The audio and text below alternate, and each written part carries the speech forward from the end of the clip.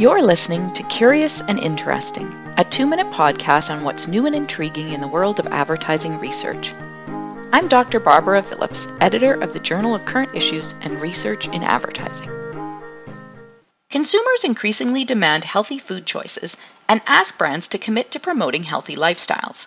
Some fast food brands, such as Pita Pit and Panera Bread, have improved their brand image and increased sales by advertising healthy choices while other fast food brands such as Chipotle and McDonald's have not been so successful. Kim and Kim wondered if a poor match between fast food brands that are considered inherently unhealthy and the promotion of healthy eating led to these negative consumer reactions. And if the fit between a brand's image and health is poor, what can these brands do?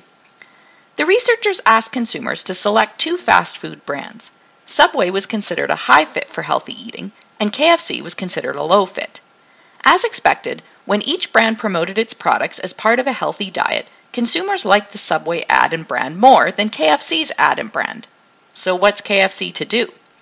The researchers also tested the difference between brand focused messages, showing the fast food as part of a healthy lifestyle, and health issue focused messages, showing people jogging and saying the brand supports a healthy lifestyle. The researchers found KFC's ad and brand were liked more when they advertised a healthy lifestyle, but not their products. For Subway, there was no difference in liking based on the type of ad. In conclusion, fast food brands that are perceived as healthier can continue to promote healthy eating by featuring their products or a healthy lifestyle. Brands that have a poor image fit with healthy eating will find more success by promoting a healthy lifestyle without featuring specific products.